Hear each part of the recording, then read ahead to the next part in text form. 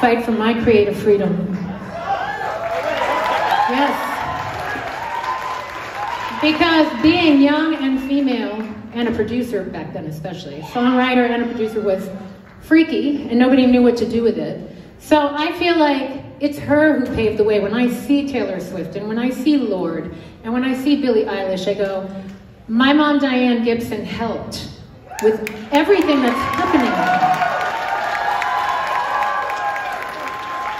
Oh wait, are we in A? We're in A. Sorry, we, we changed the key up and I forgot because I've done it in the other key my entire life. Okay, here we go. Take two.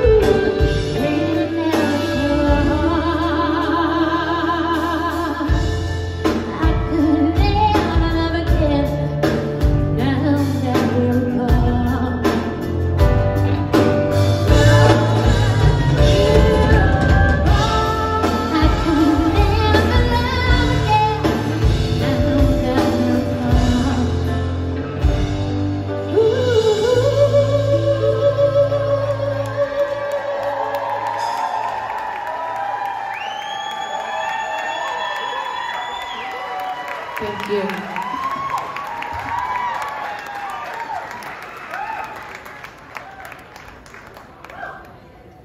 All right.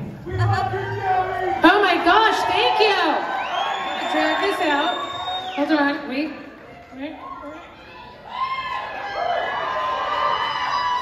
So graceful. So